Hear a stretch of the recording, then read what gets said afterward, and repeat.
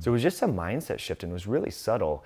And I think it's important for people to hear that because you know, I don't have necessarily weight issues. I don't have blood sugar issues. Most people, you know, searching for health related topics are trying to lose body fat, trying to balance their blood sugar. But I have other issues that I'm dealing with and I, we need to have a positive mindset that our body and our mind are malleable. Hey everyone, welcome to Health Theory. Today's guest is Mike Mutzel. He holds a master's degree in clinical nutrition and teaches leading edge science to healthcare professionals for the prevention of chronic disease. He's created roughly 20 courses on health related topics, as well as hosting an awesome and widely respected podcast called High Intensity Health. He's also the author of Belly Fat Effect, the real secret about how your diet, intestinal health, and gut bacteria help you burn fat. And speaking of burning fat, we were just talking before we started rolling, and I wanted to get back to it. Let's do it. Which is your fasting. You said that you don't you you're fasting right now. You're about 24 hours in. Mm-hmm. You said that if you have time, you're going to go grab something to eat, but ah, maybe you'll just go straight Keep through rolling. and fly to home. I find it really hard not knowing where my fast ends. Do you? Is there any sort of mental component to fasting for you? You know, a lot of us are, have this ball and chain when it comes to food, right? We're just, you know, we eat at breakfast, we eat lunch, and we worry, we take up so much of our mental bandwidth that can be used for productivity, for relationships, for self-development. But when I do interviews, when I interview other people, or when I'm mm-hmm. being interviewed, I like to do it in a fasted state. Now, it, I didn't start doing that. It took me a while to get to the point where my ketone levels get to a, a point where I'm not feeling hypoglycemic and the symptoms of like low blood sugar affect me but I don't really worry about is because once you're fasted, I, for me personally, I don't start to get negative symptoms in terms of sleep issues and maybe constipation or whatever until day three. Mm. So I'm cool going to 36 hours and not knowing, am I gonna have food or not? So it's just a way to clear the cobwebs, not have to worry about meal prep on Sunday. But the reason why I do it is I actually have a, a tumor biomarker that's elevated called alpha fetoprotein. Interesting. That's Yeah. why you started doing it? Well, that's why I'm fasting pro- more on a more prolonged basis. Every Tell people why. Why do you think that it, and then tell us the exact protocol. Yeah. But um, give people a little bit of the background on the potential anti-cancer properties, what you've read. I'm super interested in this, so you can go as crazy as you want. Well, you know, there's a lot of research. People talk about fasting, first of all, lowering glucose and insulin. And so obviously there's many different cancer subtypes and cancer cells metastasize and, and they, they mutate and, and so forth. But uh, a lot of research shows that cancer cells can utilize glucose and insulin to thrive. So getting rid of those growth And factors. insulin, I've not heard that. So the cancer cell can actually use insulin as what a growth factor, or It's a growth factor to kind of pivot uh, their metabolism to a more uh, glycolytic, so they're burning sugar instead of fats.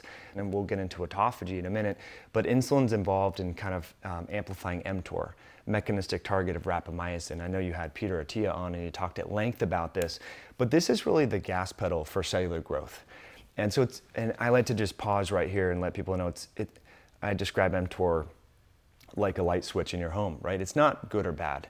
It's the context that matters. Your light mm. switch is great when you want to find something in the dark, but it, it can be bad if you're sleeping and someone turns it on. So that's where, you know, every time we eat, even if it's a vegan meal or a, a, a animal-based meal, we're going to stimulate mTOR. So just wanted to throw that out there. It's not good or bad, it just is, and it's context. But getting back to your question about insulin, that could be the purported mechanism through which insulin may affect cancer growth is uh, through mTOR activation, which just kind of fuels pro-growth pathways. Yeah, so, so getting back to it, glucose inhibition or lowering glucose down, um, lowering insulin, enhancing mitochondrial function. So a lot of people, I'm sure you've talked about this, you know, if we en- envision our home being a cell, our home has different appliances, right? We have the refrigerator, the, the stove top, the furnace. Uh, inside each one of our cells, we have different appliances. They're called organelles. So they're little cells within cells, really. And our mitochondria play a key role in helping us burn fat for fuel, helping us think clearly, helping us move our muscles. And uh, it seems that mitochondrial dysfunction is, uh, you know, an upstream event leading to various diseases, from mild cognitive impairment to blood sugar issues, uh, and, and and low energy, fatigue, things like that, but certainly cancer as well. So we got the mitochondrial function, and then for me, enhancing autophagy. So as I said, um, I do lab work. I've been doing lab work like you know comprehensive metabolic panels twice a year. And I started to have this GI pain, and I could not figure out where it was coming from. And it was just like persistent. So after three months, this was back in 2015, I started to do some research on the internet. And I'm like, you know, maybe I could have cancer. Maybe I could have something. And I started to look, and since it was in this region, I was looking for gastrointestinal biomarkers. So I measured those. And there was this one test called alpha fetoprotein, which is high in people that have hepatitis or hepatocellular carcinoma, which is a, a, a metastasis of, of, the liver. So I ran it, and the normal range is zero to eight, and mine was 80. Whoa. So anytime you have a weird biomarker, just retest, because it yeah, could just yeah, yeah. be part of the, the lab. So I retested it, and it was 79. And then I was freaking out, like, dude, because I have a little girl at home. So I'm, I'm, I was nervous, right? You're nervous because that's indicative of having this liver cancer? Exactly. Okay. So because I had this biomarker, I started to kind of believe that I might have cancer. And then I started, like, on one hand, it was great because I was more present with my daughter, mm-hmm. enjoying the moment, putting down the phone at night, things like that. But on the other side, I was like, I can't have this mindset that I have something. I, and this is common in Western medicine. You have autoimmune disease, you have Hashimoto. So people start saying, I have MS, I have right. this.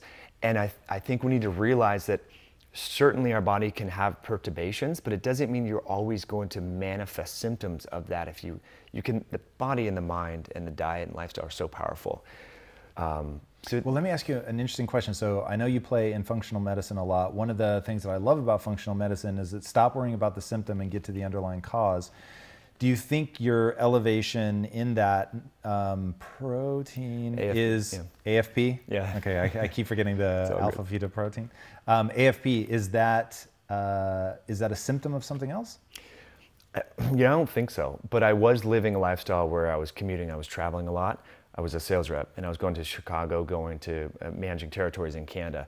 So my circadian rhythm was totally jacked, hmm. and so it was a, if anything, it was an eye opener that and I mean I've been eating healthy for a while. I mean I got into bodybuilding and fitness stuff when I was 14, not for good reasons, for insecurities like many of your guests has talked about, you know. But um, I, I, was doing a lot of things right, but that's one of the things that I was not doing. My circadian rhythm was all over the place. I was you know always on Eastern Standard Time zone, then flying back and living in airplanes. So it was an aha moment that I mean maybe the universe, God was telling me you need to change how you live your life and be present more move more, and really honor your sleep wake cycles because that influences our hormones, our biology, I mean, everything. So. It's interesting. So, walk us through how do you then use that eye opening moment? You're taking it at a much deeper level, you're seeing it as an opportunity. Um, you take it obviously very seriously from a, a, dietary protocol. You're now kicking in the fasting. Mm-hmm. What are some other things that you've done to, and I like the way you say honor your sleep wake cycles. Yeah. Um, I'm digging this like spirituality kind of vibe that sure. you have with this stuff. So, uh, how do you think about that? Like, how are you honoring other elements of your life? Like, maybe the easiest way to ask it is, what other changes have you made? That's a beautiful question. My self-talk. Yeah, I used to have a lot of negative self-talk about you know, insecurities. I'm not good at this. I suck. I mean, if we really want to go down the rabbit hole, you know, my uh, older sibling exposed me to drugs and alcohol when I was nine. Whoa. And so, yeah, and so that really. And you liked it, or? Well, I, I took to it. Yeah. So I, I mean, it's crazy for people listening. You know, I got arrested twice before I was at the age of 15. Wow. So arrested at 12 and 15, shoplifting, and then for drugs at 15. So the reason why I bring that up is I felt really dumb right? Because, you know, remember DARE, don't do drugs, all this stuff in the 80s. You know, if you do alcohol before this or if you drink or smoke, your brain's gonna be stunted. You're, you're gonna have learning disabilities. And so I started to like believe that stuff. Mm-hmm. And I literally, I remember my freshman year of high school after I, I, got arrested, cleaned my life up. My dad kicked me out. Not kicked me out, but had me go to rehab, outpatient rehab. The best decision ever. Changed my life, got into fitness and all that. But I really struggled in school. And I really believed that I was dumb. I was like, I'm just, I'm not like these other kids. And back then, my brain wasn't because of my, my prior five, six years. So I had a lot of catching up to do. But that mindset that I'm dumb and I'm not able to learn, I'm not able to talk with people still lingered with me. And it wasn't until college that I started to like kind of slowly change it. But this aha moment that what if I do have cancer made me realize that I can't hang on to that crap because my time, like we always think we're gonna have time, I may not have the time that I think I do mm. to impact the world that I want to and leave a legacy. And I was like, dude, I can't be nervous for interviews. I can't be nervous for video. I gotta create content. I gotta write. I gotta research because I realize that like, if I have 10 years, five years, three years, whatever, it's finite, right? And we get wrapped up in our insecurities and making money or doing this. But I think, you know, if we can find our the best expression of serving other people, that can be an associate. That that can be whatever. Everyone has different gifts, and I think that's what's so beautiful about the earth. So it was just a mindset shift, and it was really subtle.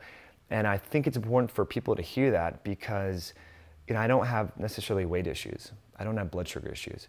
Most people you know, searching for health related topics are trying to lose body fat, trying to balance their blood sugar. But I have other issues that I'm dealing with, and I, we need to have a positive mindset that our body and our mind are malleable. That's been the biggest change.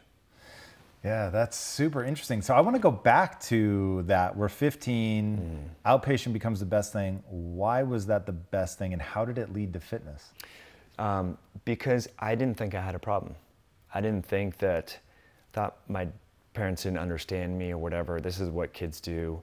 I mean, come on, you know, people smoke pot and drink all the time. You guys probably did it too.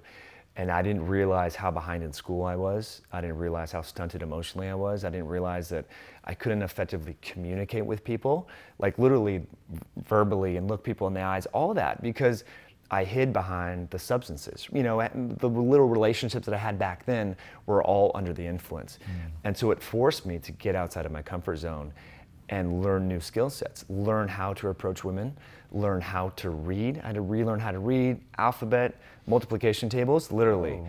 And how did it get into to weightlifting is uh, my stepmother introduced me to a chiropractor. And he said, you know what, um, to get stronger and everything, you need to to do these compound movements squats, deadlifts, presses, and they were just like, you, look, you have potential, Mike. You need to just course correct here, mm. and yeah, so that's how I got into it. And you know, I realized that if I can change my body, I could probably do the same thing to my mind. Mm. The weights gave me a lot of self confidence, and then eventually that gave me the self confidence that I can learn in, in school. And then I did the pre med route and everything like that. And so, uh, without the weights, I don't think I would have had the and the ability to change my physique probably would not have had the, the self confidence that I could learn biology and that I could mm-hmm. actually study and, and, do the MCAT, the medical school aptitude test, and things like that, right? So I, I, think a lot of people look at people that lift weights and think meathead or you're just doing this for looks, but there's so many, so much carryover mentally that occur. And so that's why I love to have all my clients do some sort of resistance training or some exercise that's mm-hmm. quantifiable. A lot of people go to the gym and just do the elliptical for 20 minutes but you can't really quantify if you're gaining, you know, if you're improving or not, because you're just doing time or you're looking at heart rate. So if you're going to do cardio, I recommend training with watts or power. Um, if you're doing yoga, it's a little bit easier to quantify because you can see if you're getting into a position better, you can mm-hmm. hold it mm. for longer. And weights and even CrossFit or powerlifting offer that feedback so we know if we're improving. Yeah, it's. Uh, I'm so with you on the notion that if somebody's struggling mentally, the first thing that I would recommend to them is to go work out. And the reason is the self respect, self belief are, I think, some of the biggest things that people struggle from. And sitting there and looking in the mirror and telling yourself that you love yourself is it's probably not a bad start, but it's never going to get you there because if you don't do something that you actually respect, you're not going to develop the self respect working out, lifting, it's hard, it's difficult, you have to sustain effort, but you do see that loop of I did this thing, I stayed focused, I was disciplined, I pushed beyond my comfort zone, and I got a result, and I look better, which triggers that intrinsic, like when you look better, you feel better. As you're getting stronger, you feel better. You have that more confidence. But it's fascinating to me how few people are able to apply that to the rest of their life. Like you'll see a lot of people, they crush it in the gym. They obviously understand that you put in that effort and you get this tremendous reward, but they don't make the leap of if I can do it to my body, I can do it to my brain. What was the insight there that let you believe that? Did it just seem intuitively true to you, or did you read something, somebody say something? Sometimes we beat ourselves up and uh, we, we say to ourselves, I'm not fit. I never will be fit. I've always been fat. I've always been poor, whatever it may be. But like you said, these small steps, and Mark Bell talks about this, just putting points on the scoreboard, mm-hmm. just getting a little bit, a small win. And so I think some people can really change their mindset by starting the day off with a small win. I know I can screw my whole day up if the first thing I do is look at Instagram or YouTube or something because then I'm stressed out and I'm irritated that I didn't do my routine. Mm. And and look, there's days that I don't like working out. I mean, I talk about working out all the time. There's days that I don't like going to the gym, but you still go. Mm. And and I always share this on my Instagram. Those days that I really am dog tired and I don't want to go, but I go, I feel so much better. And so I'd imagine, I don't know this for sure, but that Steve Jobs, there was days he didn't want to show up at work, but he mm-hmm. did it mm. anyway and look at the magic. Jeff Bezos, many entrepreneurs, many athletes probably the same. And so I think some people are just their health is in such a state where they just don't have the energy, mm. but they need to realize that sometimes we, you know, seemingly healthy people don't have the energy too, but you do it anyway. Mm, no, that makes sense. All right, I want to go back to where we started with the fasting. So, um, I've never noticed the mental clarity thing that people talk a lot about. So I think I would have if I were going from poor diet to fasting. Then I think because you're getting rid of the brain fog that you can get from especially a high uh, high carb diet, especially if you're getting a lot of sugar. Um, but you said that you like to do interviews and things in a fasted state because you're you think you're clearer, sharper, faster. I do, yeah. Now, you know, I, this is you bring up a great point. It's this biochemical individuality. Mm. And I think we hear, you know, ketones are great, so I need to be in ketosis to feel great. But everyone operates at a different level. I just find for me personally, uh, everything is easier. Um, if you took exogenous ketones, would you get the same mental clarity? Is it the lack of something or the presence of ketones? Such an awesome question. I think it's the presence of the ketones personally. Mm. Have you tried exogenous? I have, yeah. Um, I've noticed that, I mean, they jack your ketones right up, which I would love to get back to because a lot of people are chasing ketones for fat loss, which mm. I don't think mm. is ideal. But for the mental benefits, I think the presence of ketones has a lot of, of potential. How often do you take them? I only take them uh, when I travel, like, and sometimes before bed. and you take them when you travel for what reason? Because I believe that traveling is stressful in the body in a way that the ionizing radiation, whatever your, this sounds totally woo woo, I know, uh, but the Wi Fi in the airplanes, uh, the recycle there, I usually just feel tired. Mm. More tired than I normally would, considering it's just like an hour flight or two hour or whatever. So I like to take them before because part of the reason why ketones are so exciting to me is how they affect our gene signaling and protect our DNA mm. and affect it. You know, we talked I've about. I've never heard it protects DNA. yeah, through? through the through the sirtuin enzymes and it's a big long fancy word, the histone deacetylase inhibitors, the HDACs. These are common targets for various chemotherapy drugs. They're hot, uh, they're upregulated when we fast, when we exercise, and when we're in ketosis. Mm. Uh, and maybe perhaps when we take drugs like metformin or rapamycin. Mm. So these are molecular switches that not only affect our body's preference for which fuel we utilize, glucose, ketones, fats, etc., but they affect, like, affect stress response pathways, and uh, including autophagy and, and others. So yeah, if you're traveling, if you're sitting, if you're gonna be in a stressful environment, if your occupation, this is a big one for a lot of people working at a hair salon or if they're cleaning homes, for example, cleaning apartment complexes, whatever, exposed to chemicals, I think ketones offer a lot of benefit in that regard because you're helping these stress response pathways. That's so interesting. I've never heard about this before. So um, you're saying if I'm in a diet induced or fast induced um, ketogenic state, am I up I'm upregulating the things that de-excite that stress pathway, or is it that being in a ketogenic state is sort of a rest and digest parasympathetic place? Yeah, that's a deep that's a deep question. We could get into it. So a lot of because it's counterintuitive because right now if you look at my stress response hormones, I'm 24 25 hours into a fast my adrenaline, my noradrenaline, my cortisol are significantly probably higher compared to if I just was eating a normal day, yep. right? So logic would suggest that fasting is stressful. But what we see, that's the hormonal side of the stress response. And then we have the autonomic kind of central nervous system side of the stress response. What we see is parasympathetic tone and heart rate variability, which is HRV. A lot of people, you, you measure it with your ring that you yep. use, an Oura ring. This is a proxy of our autonomic nervous system, and that increases in, in favoring uh, more of resilience. So my heart rate variability is going to go up in a fast. Correct. Interesting. I've never tested that. Yeah, it's, it's a wonderful. I mean, I think that's the best biomarker people should use. And look, if you're brand new to this and you fast, it might decrease transiently, but over time, it's going to improve. Mm. So, like, if I don't eat anything tonight, when I wake up, my heart rate variability over the evening time and first morning will be significantly higher compared to if I had, were to have had two meals per day. Right. And so I think that's a good biomarker. And then, you know, because there's so many people that say, well, it's just about energy balance, calories in, calories out. And there's really intelligent people that speak to that.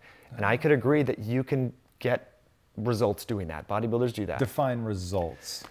Short term body composition changes maybe at the expense of slowing down your resting metabolic rate. Because if we think about what our resting metabolic rate and meta- metabolism is, adrenaline, noradrenaline, thyroid hormone, and dieting, prolonged calorie restriction tanks that.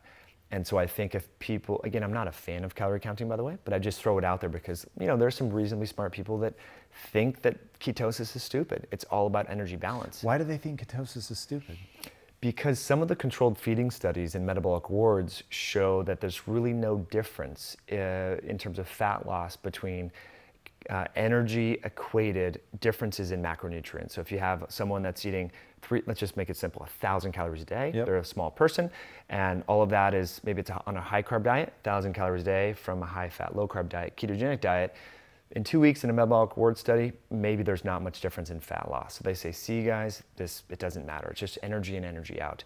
Mm-hmm. And yeah, I'm not really totally concerned about fat loss is the best proxy of health. Number one. Number two, these are short duration studies. In a controlled environment, people are not living their normal life. Well, let's. This this is really interesting to me, and I'm in that wonderfully dangerous place of I know enough to get myself into trouble. Um, so let's be nice and inflammatory. Uh, if if they're just equal, why is ketones stupid, or why is ketogenics stupid? Because I still don't get a downside. Me neither. Um, because individuals will say you're eliminating a major food group, carbohydrates and okay. fiber, and they'll say it's restrictive. I think it comes down to trade-off and what are your goals if I'm trying to optimize testosterone, if I'm trying to put on as much muscle as possible, bench press, deadlift, squat, power lift as much as possible, I'm not going to give a crap about the ketogenic diet, right? Because those are short term goals, presumably. But wouldn't you still be really cognizant of what form the calories come in? Because I get the, the one thing about the um, a calorie is a calorie that makes me super tense is your cells are made of the food that you take in. Mm. And so let's just take trans fats as an example, where the, the physical structure of the fat molecule is, I'll, I'll call it damaged, it's rigid. So if you're taking rigid fat into your cell membranes, and your cells theoretically become more brittle. Is that a fair assessment? I agree. So that's where like that all seems to break down. Like I definitively do not have all the answers in no uncertain terms, I'm ignorant to far more than I'm not ignorant to.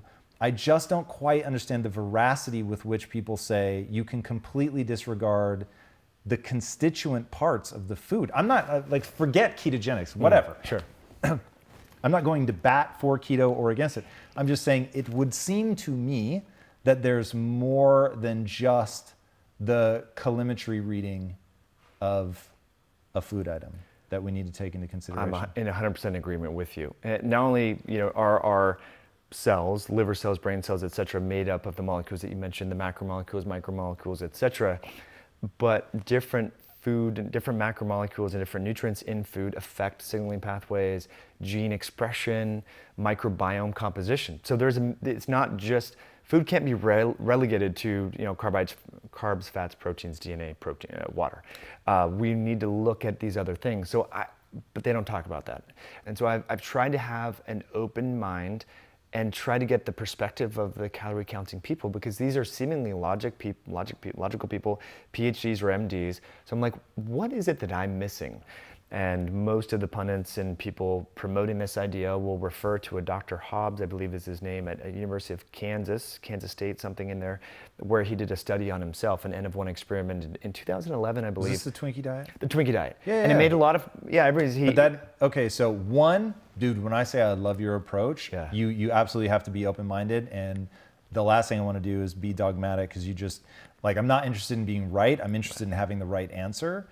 Um, This one, though, this one feels like a religious argument where it, it would seem that the people that say this are interested in being right. Clearly, there's just so much at play. Um, it just seems weird to get like so super caught up in that. You can get lean on a Twinkie for sure. I think you're going to have a whole host of other problems, it would seem. Absolutely, and, and that's why that study hasn't been replicated. And it speaks to what you were just alluding to. I mean, yeah, you can get lean doing various things, but is being lean the absence of fat, the, pre- the presence of health? Does that equate health? Mm-hmm. We know many bodybuilders who are very lean, 6% body fat, after a competition they have a congestive heart failure, heart attack, or die. So it's not, that, you know, body fat obs- can have problems and challenges and is linked with inflammation and where your body fat sits is a big deal. But that's where I think it gives people power because it's not just about your diet. It's about your sleep, your relationships, your stress management, you know, your mindset, uh, exercise, circadian rhythms. There's all these things, and if you, you know, just relegate food to just calories, you miss all that. But it brings back to what you were saying. It's not about being right, you know. And I think people, and I've learned this myself. I've had to have an open mind, like because I read negative ketogenic diet studies because I want to challenge my own beliefs. Wisdom. So I don't, I'm not in this echo chamber. I talk about those negative ketogenic diet studies. And when I'm reading it, I'm trying to have remove my bias. It's very hard. As human beings, our, our mind is wired to be very biased. We're constantly, when we watch videos like this or read books, we're trying to confirm what we already believe. You know what I mean? And so we need to kind of remove ourselves from that a little bit and, and realize that's how we're wired and we're set up that way, but it doesn't mean we have to be that way. Yeah, it's really interesting. So uh, there's no question that we all have that bias, and I will definitely lump myself in there. But if your obsession is, like, for instance, if your obsession is longevity or feeling good or whatever, it's like you can pretty easily get out of your own way on that and then just steer by what makes something feel good or not feel good. One of the things that, at least on a, a ketogenic diet, that I find so interesting is it changes your relationship to hunger. Um, I can fast for, I intermittent fast every day. Um, my averages call it 20 hours a day. Mm. So every day. I'm, you know, I'm fasting roughly 20 hours a day. But when I look at like what the primary driver for me in terms of wanting to be open to something is to have an even better effect. So if somebody said, no, no, no, if you eat Twinkies, you're going to feel even better. Oh, rad, then I'll, I will try it. One, that sounds a lot more fun. And then two, you can see like where you fall in something. But where do you live in terms of diet? Are you always keto? Are you sometimes keto? You've talked about seasonal eating. Like, how sort of do you structure your day to day living? It's an awesome question. I think everyone needs to think about what their unique goals are. So for me, trying to optimize brain function, that's just my primary goal. And then when I exercise, I want to optimize my physical performance. Like if I'm going to do a lot of volume, I will have carbohydrates. So I guess you could call it like a targeted cyclical ketogenic style diet if I'm sitting here traveling, you know, I've been sitting all day, I'm gonna go on an airplane in an hour or two after this, you know, I don't need carbs for that. I don't need sweet potatoes, I don't need butternut squash. So it's mostly a fasted, low calorie type day. So yeah, I mean, my approach is just, you know, have the carbohydrate commensurate with the activity. Mm. So if you're not doing much activity, you probably don't need a lot of carbs. Oh, and so uh, when I think about like managing the microbiome and trying to get as much diversity, I I will eat things that um, regard like let's say that I never worked out, I would still bring in things like berries or maybe even the occasional piece of fruit or something, just to to try to inter- introduce as much variety as I can. I'm talking color, so that we're you know getting uh, micronutrient variety as well. Just making sure that I have a robust microbiome that has a lot of different diversity. Um, do you think that's bullshit? Does that make sense? Um, if somebody doesn't have an increased need for carbohydrate, is there still a reason for diversity of microbiome to eat rice or vegetables or fruits or berries? It's a beautiful question. Five years ago, I would have said absolutely, but that's and that's why I was hesitant to even go keto in the first place. Did a lot of research into you know how different foods and overall food diversity affects diversity here in our microbiome, and so we know that. Uh, I thought that was the most important thing. And some research out of UCLA recently showed that actually ketones may influence those different strains, Akkermansia muciniphila, Faecalibacterium prausnitzii. These are common strains that are kind of like these keystone species that influence the diversity and, and really when we talk about when people are chasing, and I understand where you're coming from, but so everyone understands the context, why is gut microbiome diversity healthy? It, it translates into stability. Stability in any ecosystem is resilient, right? It can take little small hits. How do you over how do you circumvent this practically? Mm-hmm. I think it's unless you have an autoimmune disease, unless you have severe gastrointestinal dysfunction when you have a berry or rosemary or ginger, I think it's best to eat what's in season in your environment. Do I have a randomized placebo? In the environment I live in or in the environment ancestrally that I came from? I, I think it's a combination of the two. I think if you can keep in mind your genetics and context, but also your local environment, if we take your microbiome now and then put you in Africa, it's going to be different. Absolutely, because the water, the bugs you're exposed to, the people you're in contact with. So, I, but your genes are not going to change. So I think it's it's melding the two. I think you have to. The only diet that humans could eat before the advent of electricity, gas, refrigeration, and so forth was what was available to them locally. And here we have, and I'm not picking on green juice or whatever, but let's say in January, where there's no vegetables growing in Wisconsin, you're having a celery juice because it's mm-hmm. healthy. How healthy really is that? Because we know that hibernating animals, for example, their microbiome composition and diversity changes with the season. So, is it, is it the food? Is it the seasons? There's long story short, there's a lot of crosstalk between our microbiome and our own tissues. And so they're communi- communicating to us and we're communicating to them. And, and, so I think getting back to the practical takeaway from this whole conversation is we need to understand that the food that we eat is in, being absorbed by us, but it's being utilized and absorbed by those mm. gut bacteria as well.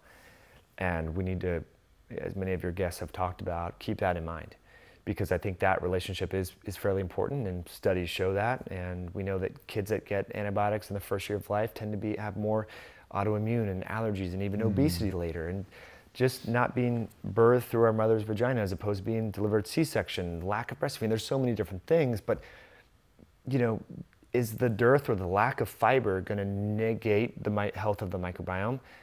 Again, five years ago when I said absolutely. Now I'm like, all these people are thriving on meat only diets. Mm. You know, if we think the microbiome imbalances are triggering autoimmunity, yet these people are reversing autoimmunity through a meat only diet. Yeah, let's talk about that. So, carnivore diet. Yeah. Um, pretty interesting.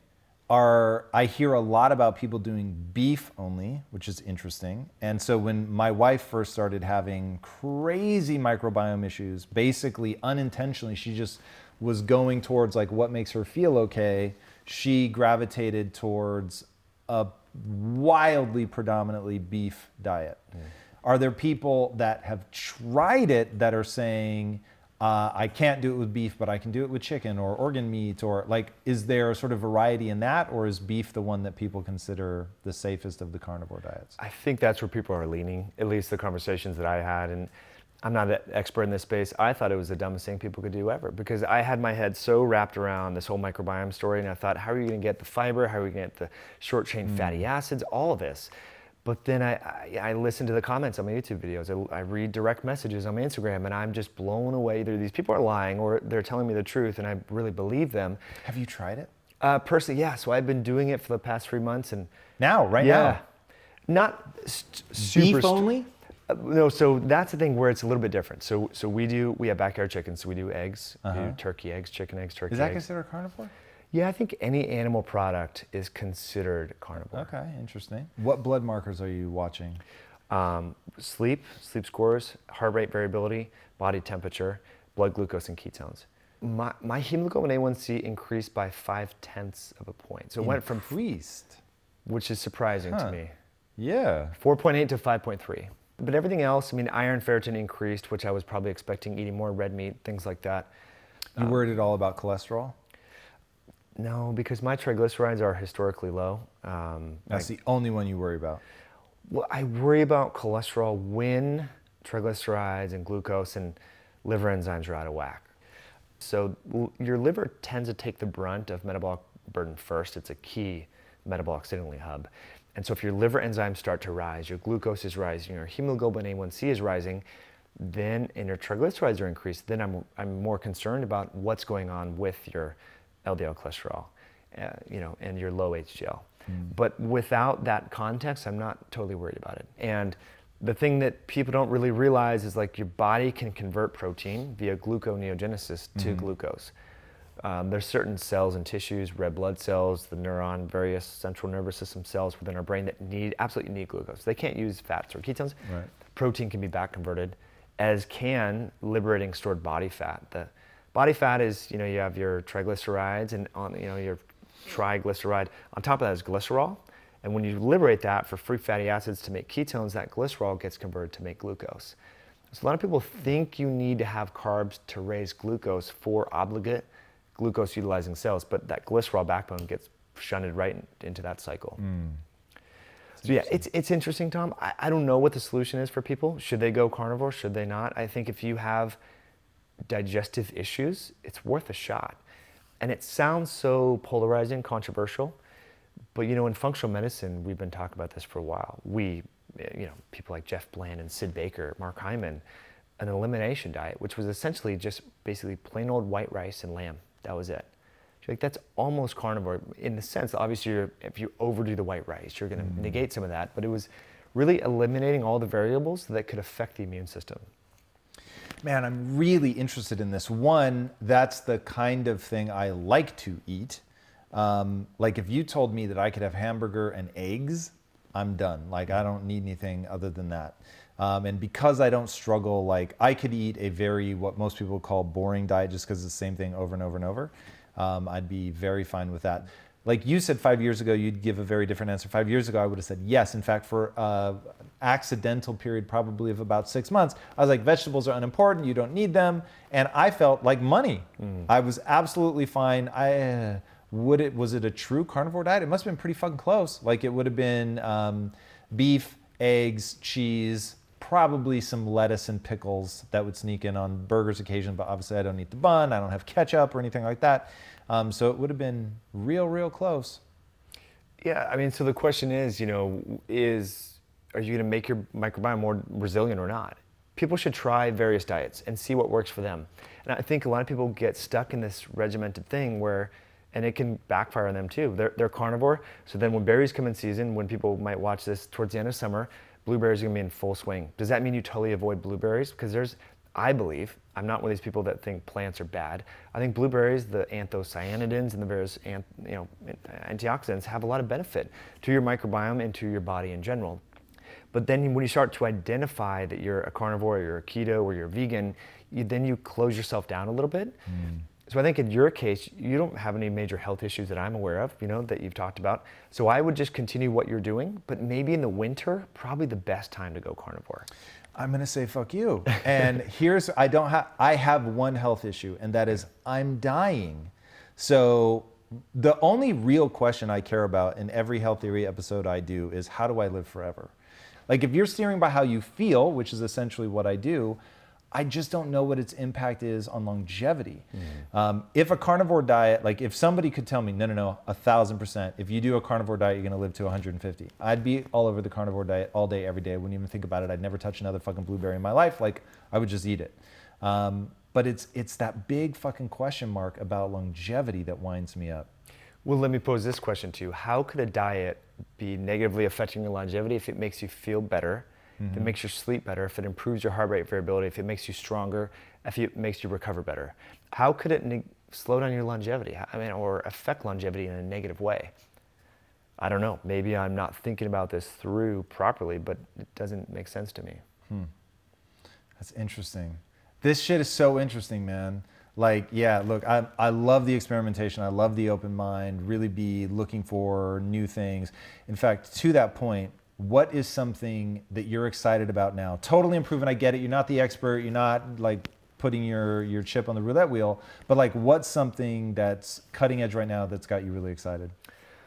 You know, I think the the ability to manipulate mTOR has me very excited. So we kind of talked about mTOR is kind of the gas pedal on our cells to grow. Mm-hmm. And you know, one of the reasons that you fast, one of the main benefits of fasting prolongedly is affecting glucose, insulin, mitochondrial function that we introduced the show on, but it it drops mTOR to the floor.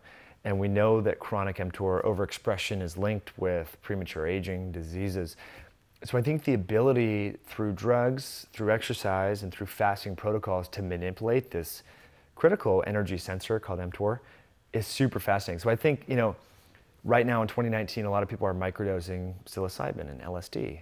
I personally experiment with that fairly often. I think in two years, people are going to be microdosing rapamycin. People are going to be microdosing various mTOR inhibitors mm. to, to like, they're like called calorie restriction mimetics. So we're kind of manipulating the physiologic effect. Aren't people already fucking with rapamycin? It's a very few and far you between. mentioned the other one. I'm blanking on it right now. Like metformin. Metformin, yeah. Do you take metformin? I don't. I take berberine. Interesting. So the one thing, like when the cameras stop rolling, yeah. The one thing a lot of people are like, yeah, I fuck with it. Is really? is that thousand percent? I'm talking doctors. Yeah. Where I'm like, all right then. like it's one of those. It is only my fear of the unknown. Where it's like, if something seems too good to be true, it probably is, and I don't know what kind. Because they've been giving it to diabetics and cancer patients for a long time. Long time. So uh, I don't know what kind of studies have come out based on that, but it, metformin is probably one of the safest drugs you could take. Hmm. Um, it, it's actually very poorly absorbed. Here's what's really cool. So I've you know studied the microbiome forever. I'm very curious about how these drugs work. Yep. Like it's only 33% or something like that is absorbed. How is it working? It's affecting your microbiome. It's affecting the gut hormones and your bugs. So very safe. The only thing you might need to add more of would be B12 and folate because it purportedly does affect methylation and or absorption. But that's a very safe drug. I, I, am not, I wouldn't be ashamed to take, say that I take it. I don't. I take berberine. So I do that 500 milligrams of berberine hydrochloride three days Same a week. thing, meant to slow mTOR. Yeah, well, it, it affects AM. I don't want to get complex into the biochemistry, but you have kind of a, a yin yang. You have mTOR's growth, AMPK is breakdown. Okay, you don't one's neither good nor bad. They just are. Uh, berberine and metformin increase AMPK. AMPK is a switch, just like mTOR is a switch. They're different knobs. So it's breaking down what? Crap inside our cells. Okay, so this is a little bit like autophagy? AMPK and mTOR are the key cellular switches that ultimately guide autophagy huh. and govern whether or not we're going to tear down, break down, you know, aberrant proteins, uh, dysfunctional proteins, aggregated proteins, dysfunctional organelles. We kind of talked about how our cells are like little homes inside our appliances. Yep. Those appliances become dysfunctional, and that's where autophagy, self-digest, comes in. And so you have a bad furnace, autophagy in, will help to clear that. A bad furnace in your cell would be a, a mitochondria, Golgi apparatus, endoplasmic reticulum. There's all these different compartments. It's even speculated that the ability to break down fat and glycogen, store glucose, is autophagy mediated. Even recovering from exercise. This is what's so cool. So when we feel sore after workout, how do you think our body recovers from that? It's mm-hmm. via autophagy and breaking down those damaged proteins so that we can rebuild them so that they're stronger for our next workout. So I like to throw that in there because when people hear autophagy, they think fasting, mm. but that's just one knob on the autophagy wheel. Exercise, there's a ton of data showing that exercise enhances autophagy because you're causing your body to dig deep and break down glycogen for that workout. Yeah, that makes sense. All right, I'm going to put you to the test for Let's a second. So hiding behind the screen, door number one, is somebody, I'm not going to tell you anything about them. I'm not going to tell you if they're a man or woman, overweight, ripped, whatever. Um, but you have to tell them how to eat for longevity and feeling good. How should they eat? I would say, Sally or Joe, look, I don't know what your health issues are. I don't know what you're experiencing, but we're going to get you off anything that comes in a, a box, bag, or a can. So Any, no processed food. No processed food. I want you to go to a farmer that's within a 50 mile radius of you. Ask them what you can buy that's in season and, and buy the animal products that you feel comfortable consuming. I don't really care so much as what you eat and how much. I want you eating at the same time every day, whatever that is. So influencing the circadian rhythm. So there's a lot of new research studies where they're controlling how many calories people are eating the same amount of calories, but if they force it into a confined window, mm. it changes this mTOR expression. It and change- not just a defined window, but the same defined window every day. You hit it on the head exactly. So if you're mm. if you're going to intermittent fast, great. Then eat from say you know noon to six or two to eight. It doesn't matter, but just try to be consistent. Just like we should try to go to bed at the same time and wake up at the same time. You know, we hear a lot about toxic blue light. Well, when we eat and food in general affects our circadian biology. We have molecular clocks in our gut, in our muscle, in our brain, in our pancreas, everywhere. Food entrains that clock too. Hmm. That's really interesting. I haven't heard that before. Um, is there a number of hours before going to bed that somebody should be cognizant of having their last meal?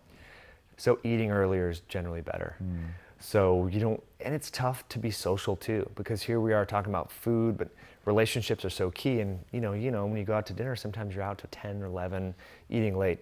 I generally advise people to kind of cut things off by 7 p.m., which can be tough for whatever, you know. If the person didn't have any concerns about a social life, what would be the ideal window?